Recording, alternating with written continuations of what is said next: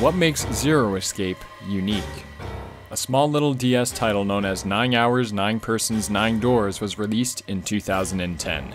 It told the story of nine seemingly strangers who were brought together into a little game known as the Nonary Game. This game is not for the faint of heart. Together, they must solve puzzles and find their way to the exit or else. It then garnered a sequel for the 3DS in 2012 known as Virtue's Last Reward, which followed a similar premise and continued the story of its predecessor, which was re released at the time to commemorate the occasion.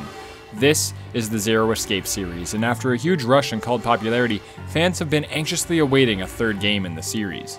The games are loved for having one of the most mesmerizing stories in video games, one that truly enthralls the player into the settings, characters, and dialogue.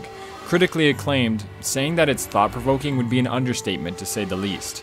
With the looks of a third and final installment finally on the horizon, Rabid fans have been in an uproar trying to decipher the clues that writer Kotaro Uchikoshi and publisher Aksys Games have been releasing to the fans with the hashtag ForInfinity. What makes the Zero Escape series unique is how it takes advantage of all the tools at its disposal to push the boundaries of a visual novel.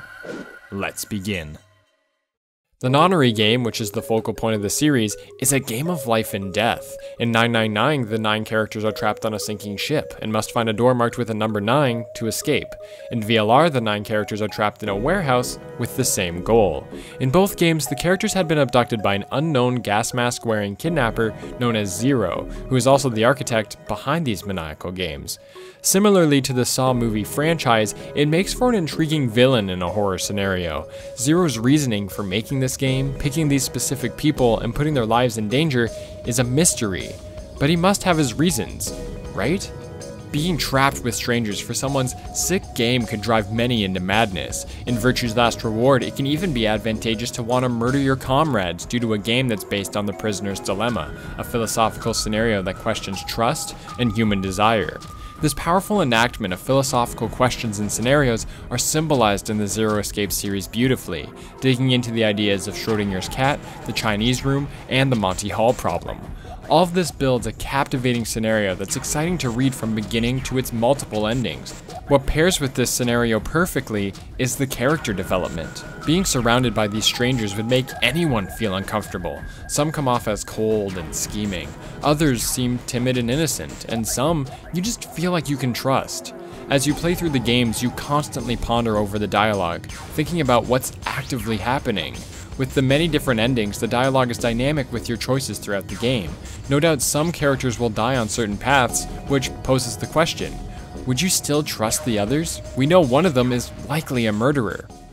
Now this game is full of dialogue. Even though you are forced into the role of either Junpei or Sigma in 999 and VLR respectively, the game fully understands the player's own thoughts and its narrative. Junpei and Sigma rarely have internal dialogue, and even the narrator doesn't bother to mention the thoughts of the other characters.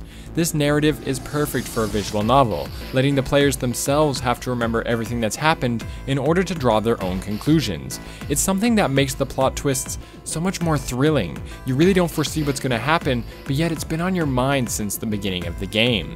In subsequent playthroughs, early dialogue fully alludes to the truth, but yet you hadn't noticed it before. This beautiful story and dialogue isn't just well written, it is well presented. Composer Shinji Hosoe wrote memorable themes for the game that fully bring out the plot gripping dialogue. Tracks like Chillin' Rigor, Trepidation, and Tinderbox aren't just beautiful pieces of music, they're scary and goosebump forming just to listen to. Beautiful use of piano, ambient noise, and industrial metallic sounds make it feel less than a soundtrack and more of a full on film score, making for a wonderful experience for any gamer who can appreciate fantastic writing. The gameplay in the series is just basic puzzle solving. Although the puzzles are well designed, they're not particularly special in any way. 90% of this game is text, and it's crazy to imagine that a game with such imbalance between game and story has been loved so much by fans. With captivating characters, a story that leaves players asking constant questions, and presentation that holds up to its horror motif, Zero Escape is a must-play series for any fan of visual novels. It proves beyond a shadow of a doubt that a good story can be recognized within the confines of a video game. It's a series that thrives on fear, trust, and the human condition, something that visual novels have never been known for. That is what makes Zero Escape unique. I love this series. Hopefully next week we'll receive some news on the third and final Zero Escape title, because if all this buildup was for something else, there's gonna be a pretty angry fan base on their hands. oh boy. Hit that like button if you've enjoyed this video, and hit that subscribe button if you'd like to see more videos that discuss what makes any video game stand out. Thanks for watching.